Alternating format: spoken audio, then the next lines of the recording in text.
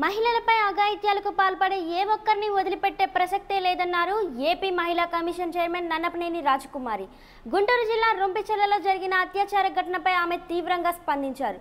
చట్టాలు మారుతున్నా కొత్త చట్టాలకు ఆమోదాలు చేస్తున్నా కొందరు మృగాల్లో మార్పు రాకపోవడం చాలా దౌర్భాగ్యమని ఆమె ఆవేదన వ్యక్తం చేశారు. నగరాల్లోనే కాకుండా గ్రామాల్లో సైతం ఇలాంటి ఘటనలు చోటు చేసుకోవడం సిగ్గుచేటని అసహనం వ్యక్తం చేశారు.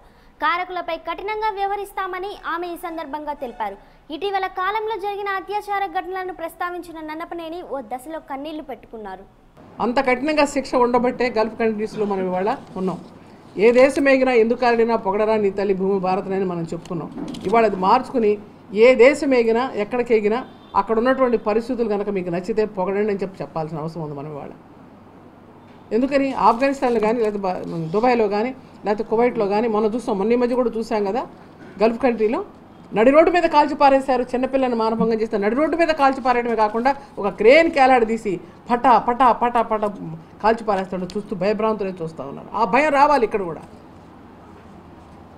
వరంగల్లో స్వ స్వ- స్వప్నికాలను ప్రణితకి యాసిడ్ పోసినప్పుడు ముగ్గురు ఎన్కౌంటర్ జరిగింది అప్పుడు. నేను నేను దయాకర్ రావు. ఆ అమ్మాయి అంతక్రియలో పాల్గొన్నాం. అప్పటికే వాళ్ళ ముగ్గురిని కూడా చంపేయడం జరిగింది. ఎన్కౌంటర్ ఎన్కౌంటర్ చేయడం జరిగింది.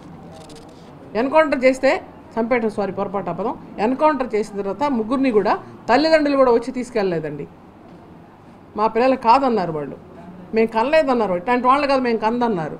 మేము చూడక్కర్లేదన్నారు. అనాథ శవాల్లోకి ఎక్కడో పో దాన సంస్కారాలు చేశారు. ఆ పరిస్థితి రావాలి. అరే పల్లెటూళ్ళకి ఎగబాకిందండి ఇదివరకు పట్టణాల్లో పట్టణాల్లో ఏదో బొమ్మ అనుకునేవాళ్ళం. ఇప్పుడు పల్లెటూళ్ళల్లో పల్లెటూళ్ళలో జరగడం ఏంటి? మన ఒంగోలులో జరిగింది పల్లెటూరులో మాచల్ల దగ్గర జరిగింది మా పల్లెటూరులో నిన్న జరిగింది పల్లెటూరులో నెల్లూరు జరిగింది పల్లెటూరులో మన రాష్ట్రానికి సంబంధించి. అట్లాగే అనేక రాష్ట్రాల్లో సంబంధం తీసుకున్నా కూడా పల్లెటూరులోనే జరుగుతున్నాయని చెప్పారు చాలా చోట్ల. నేను హైదరాబాద్లో కూడా మన వాళ్ళని ఎంక్వైరీ చేస్తే ఇక్కడ కూడా జరుగుతున్నాయండి చాలా వరకు. అంటే మీకు ఇప్పుడు ఆంధ్ర మీకు ఈ పేపర్లు రాకపోవచ్చు. ఇక్కడ కూడా జరుగుతూనే ఉన్నాయి. ఇది కూడా పల్లెటూరులో మొదలైంది ఇక్కడ కూడా అని. ఎందుకని పల్లెటూరు వాతావరణం ఇంత కలుషితం కావటం ఏంటి? అల్లారు ముద్దుగా పెంచుకున్నటువంటి కన్నబిడ్డల్ని ఆడపిల్లల్ని కాదండి నేను ఒకటే మీకు చెప్తున్న ప్రశ్నలో ఎక్కువసేపు మాట్లాడటం కూడా భావ్యం కాదు. కానీ నా ఆవేదన మీతో చెప్తున్నా మీ ద్వారా చెప్తున్నాను. దయచేసి ఇది ఎట్లా చేయాలి? కాబట్టి వాళ్ళని శ్రమ చేస్తున్నాం. నా శక్తికి మించి చేస్తున్నానండి. నేను నా మహిళా కమిషన్ చైర్పర్సన్గా ఉండి నేను ఏం చేయలేకపోతున్నాను ఇప్పుడు వెళ్ళాను ఒక డబ్బులు ఇచ్చి వచ్చాను. ఏదో ఇది ఈ నాలుగే రోజులు పాపం తినడానికి వాళ్ళ అత్తగారు అంట వచ్చింది పాపం. ఇప్పుడు భర్త వదిలేశాడు అమ్మాయిని. వాళ్ళ అత్తగారు వచ్చింది. వాళ్ళ అత్తగారితో చెప్పి నేను ఖచ్చితంగా చూసుకుంటానని ప్రామిస్ చేసింది.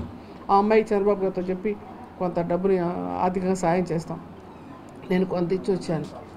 నేను చెప్తున్నా ఈ రోజున దయచేసి మీరు ఆడపిల్లలు అంటే మన ఇంట్లో మహాలక్ష్మి అనుకుంటున్నాం. మన భారీగా తల్లిగా చెల్లిగా బిడ్డగా లేకపోతే కోడలుగా మన ఇంటి కుటుంబంలో మహిళలేంది లేదు ఈ సమాజమే లేదు. అరే భ్రూణ హత్యలు చేయొద్దు అన్నాం భ్రూణ హత్యలు చేస్తే సృష్టి అయిపోతుందని చెప్పాను నేను. నేను చిన్న నుంచి మొత్తుకుంటున్నాను. భ్రూణ హత్యలు చేయబాకండి ఆడపిల్ల అంటే చంపబాకండి అని చెప్పినని మొత్తుకుంటున్నాను. అటువంటిది చంపకుండా ఆ పిల్ల బతకాలి బాగా ఉండాలనుకుంటుంటే ఏంటండి ఇది? ఒక విషయం మీకు చెప్పదలుచుకున్నానండి. ఆ రోజుల్లో ఆడపిల్లని చాలా జాగ్రత్తగా పెంచారు. ఇవాళ మనం స్వేచ్ఛగా పెంచుతున్నామని చెప్పి అనుకున్నారు పట్టణాలు. కాదు అది కారణం కానే కాదు. ఇవాళ పల్లెటూరులో ఆ చిన్నపిల్ల ఏం చేసిందండి? వయసున్న పిల్లలు కాదు కదా? వయసుని దానికి తారతమ్యం లేదు కదా? పదకొండేళ్ళకు ఓణీలు ఇచ్చేవాళ్ళండి పల్లెటూళ్ళలో. పదకొండేళ్ళకు ఓణీలు ఇచ్చేవాళ్ళండి. తిన్నప్పుడు తెలిసేది కాదు. ఎందుకు ఓణీలు అంటే ఈడుకు వచ్చిన పిల్ల అనేవాళ్ళు. అంటే అంత జాగ్రత్తగా పెంచుకుంటారు ఆడపిల్లని. పాడు సరిగ్గా వేసుకో. ఓణి లేకుండా బయటకు వెళ్ళమాక. ఇట్లానే వాళ్ళండి పల్లెటూళ్ళలో. ఇప్పుడు ఇప్పుడు గుర్తొస్తూ ఉంది. కానీ ఇవాళ చాలా పవిత్రంగా చాలా బాగా ఉంటున్నటువంటి పరిస్థితులు వస్తూ ఉంది. నిన్న మొన్న ఎవరు అంటున్నారు ఇంత అసలు ఎదురు కూడా ఉన్నాయండి. బయట చెప్పుకోవట్లేదు. ప్రెస్లో మీడియాలో అంత రాలేదు. మీడియాలో ప్రెస్లో వచ్చింది కాబట్టి ఇప్పుడు వీళ్ళలోకి వచ్చింది. నిజమే మీడియా ప్రెస్ లేకపోతే ఇంకా ఎంతమంది నాశనం అయిపోవాలి? మీడియాలో రాబట్టి ప్రెస్లో రాబట్టి గవర్నమెంట్ వెలుగెత్తబట్టి కోడే కోస్తుండబట్టే మా బట్టాలను కదులుతున్నాం. చట్టాలు మారుస్తున్నారు. పార్లమెంట్లో చర్చిస్తున్నారు. క్యాబినెట్లో చర్చిస్తున్నారు. కోర్టులో నిర్ణయాలు చేస్తున్నారు. రాష్ట్రపతులు ఆమోదిస్తున్నారు. అదే మీడియాలో పత్రికలు రాలేదు చెప్పలేదు.